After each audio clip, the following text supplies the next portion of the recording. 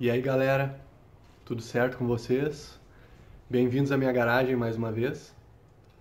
Hoje a gente vai seguir aí na reforma das portas da Brasília. Na semana passada, se vocês lembram, a gente fez a pintura das portas, né? Terminou ali. Falei algumas vezes, no mínimo umas 20 vezes aí que eu ia seguir o bom ao invés do ótimo, justamente porque a ideia aí era realmente finalizar, dar andamento aí realmente na montagem das portas. Então vou mostrar aqui a porta de novo para vocês. Deixa eu virar aqui. Então tá aí a Meg. E a porta pintada, porta do motorista. E eu tô com a porta do passageiro aqui em cima, que eu já vou começar a trabalhar nela aí, a fazer a montagem interna, né? E aí vocês vão acompanhar. Mas antes de começar a montagem interna, eu vou tirar todos esses jornais que serviram aí de proteção enquanto a gente estava fazendo a pintura, para depois que eu, eu consiga seguir aí no processo. Vamos junto nessa aí.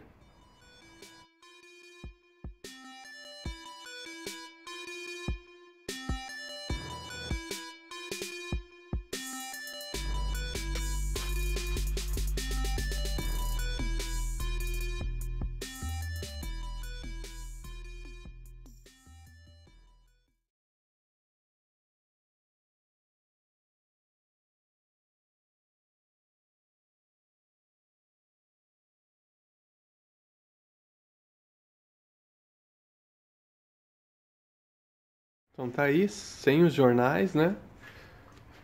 E além disso eu tirei também as fitas crepe que eu tinha botado para proteger. Botei a cabeça aí por dentro para ver se não tinha ficado nada, é importante tirar tudo, né? Ficou legal, realmente protegeu. Em alguns lugares pegou aí um spray de tinta, mas azar, né? O importante é que realmente a lataria esteja bem, esteja bem protegida aí. Uh, eu não sei ainda se eu vou colocar uma manta asfáltica aqui por dentro ou não. Tenho receio de de repente colocar uma manta, uma manta asfáltica, né? E criar um tipo de, de umidade entre a manta e a lataria e de repente apodrecer. Acho que eu vou deixar assim. Vamos ver, vamos ver aí no, no segmento como é que vai ser. Se eu acho alguma opção diferente. Uma coisa nesse sentido. Mas sem dúvida se eu botar alguma coisa ali dentro, vocês vão, vocês vão ver aí, eu vou mostrar em vídeo. Vamos adiante. O mecanismo da fechadura aqui então. Eu tenho a impressão que é montado dessa forma, deixa eu mostrar aqui para vocês.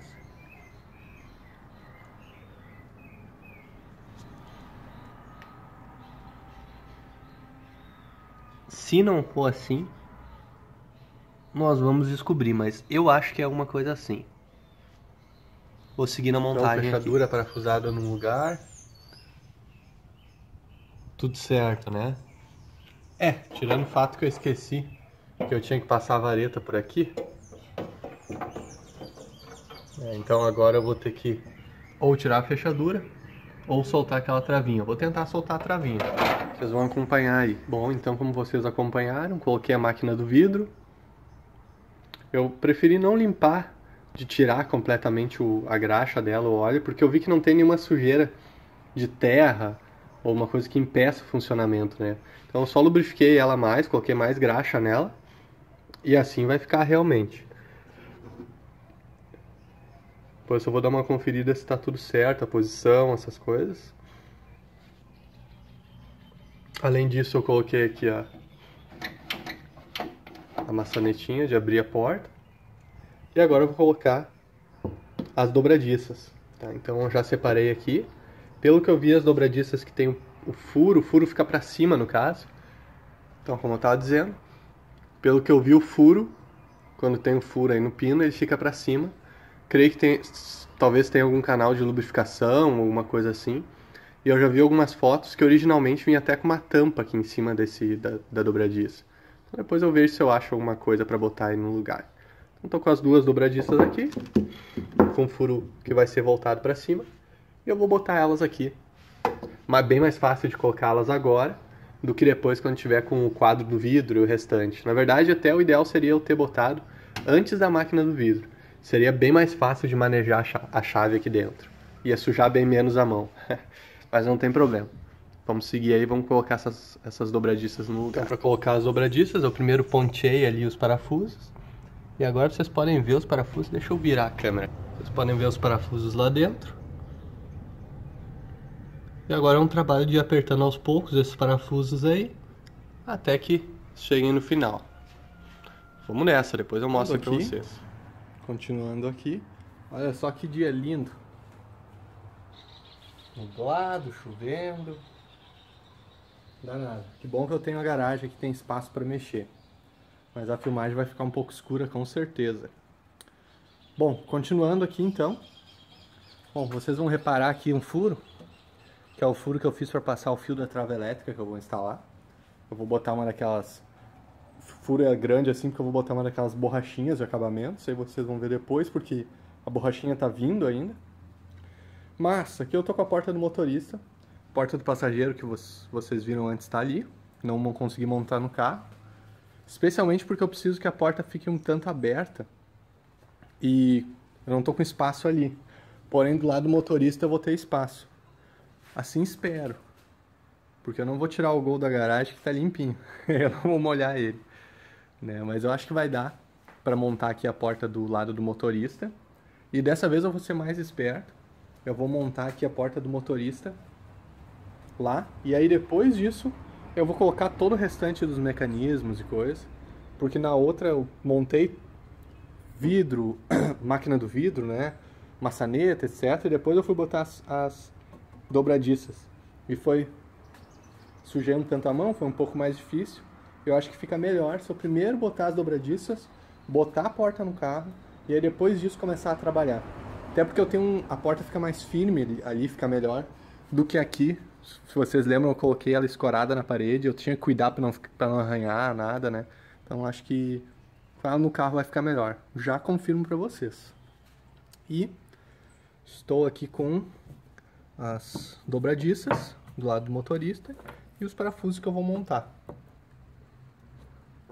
Vou seguir aqui na montagem, depois eu mostro ali para vocês. Não tem muito segredo, né? Eu vou pegar, que nem eu já mostrei antes, vou pegar a maçaneta, vou botar aqui no no lugar dela e parafusar. Docinho, né? Tranquilo. Vou aproveitar e vou botar uma, uma graxa aqui. E antes, como eu pintei, entrou tinta aqui dentro das roscas, eu vou primeiro passar um parafuso e tirar para que seja mais fácil ali a montagem em si, não tranque tanto. Vamos nessa. Dobradiças no lugar aqui. Certinho. Deixa eu mostrar aqui por dentro. Tá aí. Agora o que eu vou fazer vai ser dar uma isolada na porta, colocar uma fita crepe em pontos que po poderiam arranhar quando eu estivesse fazendo a montagem. A ideia é tentar diminuir os riscos realmente. Já que na parte onde as dobradiças são parafusadas, não vou me preocupar muito, até pensei em de repente dar uma pintada, mas não vou me preocupar muito porque eu quero pintar depois os paralamas e por dentro aí dos paralamas e quando eu tirar o paralama aqui para aproveitar para trocar o galão aqui para trocar esse debrum, eu vou aproveitar e já vou pintar também por dentro aqui. Então, por hora não vou me preocupar com isso aí. E é com muita satisfação que eu mostro a porta no carro. Nossa, que belezinha. Olha, Pode parecer bobagem assim, falando, mas que trabalho para fazer essa função. Na filmagem tá parecendo que tá com uma cor diferente a porta da parte de trás e é verdade. então, deu um problema aí, mas não vamos se estressar com isso. Tá mostrando principalmente no escuro aqui, mas antes eu coloquei mais luz e não me pareceu tanto. Não sei se a cor muda com o tempo ou não, mas antes já estava diferente de qualquer forma, né? Mas, tirando isso, ficou muito legal. Gostei bastante.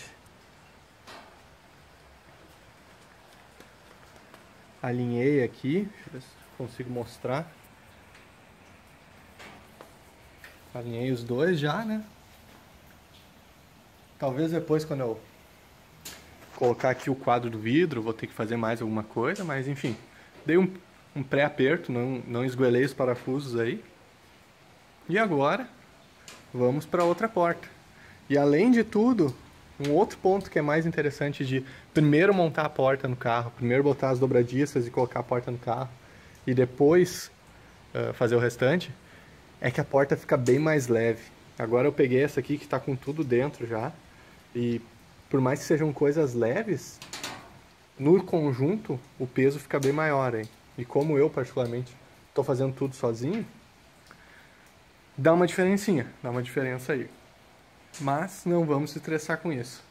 Então ali está a fita crepe, que eu tinha mostrado já para vocês. Vou botar a fita na outra porta e vou tentar botar no mínimo aí. Vamos ver se eu vou ser feliz também. A porta lá do outro lado. Então Vamos tá lá. aí a porta do passageiro no lugar também. Ficou funcionando bem. Já dei uma pré-regulada nela aqui. Mas vou deixar para fazer a regulagem final de altura e tudo. Quando eu tiver com, com o resto da porta montada. O quadro do vidro e outras coisas. Acho que agora o que eu vou fazer vai ser seguir aí para montar as maçanetas.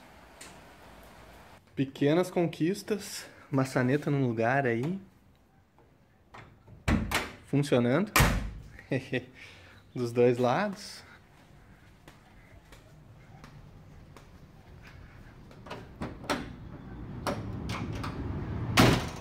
Muito bom.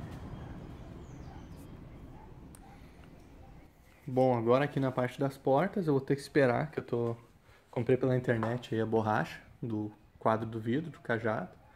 Então vou ter que esperar chegar. Espero que chegue essa semana aí para eu continuar o processo. Vocês podem ver que na parte de trás lá tá desalinhado, mas eu não fui muito atrás, na verdade. Eu sei que eu tenho que soltar aqui as, a, os três, seis parafusos das dobradiças por dentro, que daí eu consigo dar essa levantada, porque aqui também tá, né, desalinhado. E aí daí lá atrás, dando essa levantada, eu, opa, lá atrás, dando essa levantada, eu consigo também mexer no, no lugar aqui da fechadura, a trava da fechadura que fica na coluna ali, para conseguir deixar melhor. Mas isso é uma outra etapa. Ficou muito bom, gostei. Fiquei feliz. Desse lado, olha só, a cor até que não destoou, não destoou tanto. Mas sem estresse, né? Coisas da vida aí. Vamos adiante.